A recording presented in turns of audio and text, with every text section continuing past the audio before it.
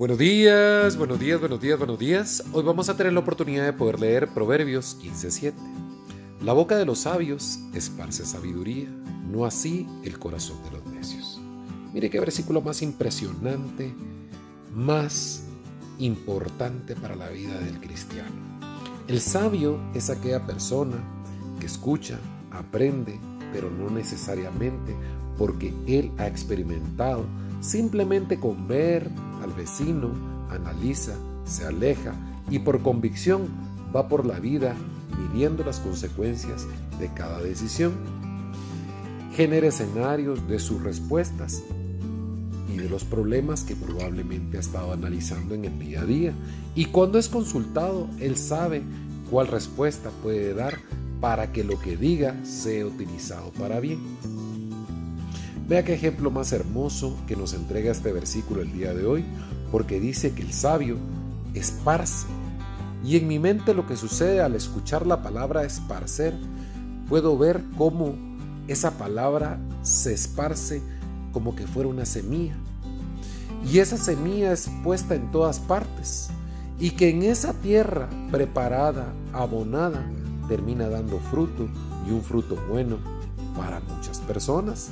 Pero vea cómo cambia el necio.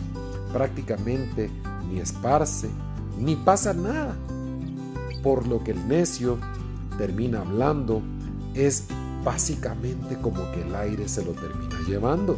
Y aunque hayan personas que lo pueden escuchar, jamás dará fruto.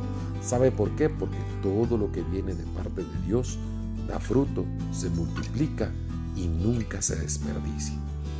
Pero las palabras del necio no fructifican, no es algo que todos quisiéramos escuchar. Es más, el necio es especialista en justificar cualquier situación y ahí uno puede darse cuenta que esas palabras no lo van a llevar a uno a ningún lugar. Pero en cambio, el sabio escucha, aprende, analiza, comparte y por último, siempre hay fruto en lo que él dice y también para muchas personas más, no solamente para Él. Vamos a orar. Padre, te damos gracias, te pedimos perdón por nuestros pecados, Señor, te pedimos, Padre, que nos ayudes a tener esos corazones sabios, Padre, esos corazones dispuestos, prestos, listos para poder servir a muchas personas, para que podamos a través de nuestra palabra, Padre, poder ayudar a la gente a través de esa sabiduría que solo tú puedes entregar. Te pedimos también que si somos necios, Padre, podamos encontrar ese camino para ya no justificarnos y poder seguir adelante para lograr esa sabiduría que tú tanto quieres en nosotros. Te damos gracias, te bendecimos en el nombre poderoso de Cristo Jesús. Amén.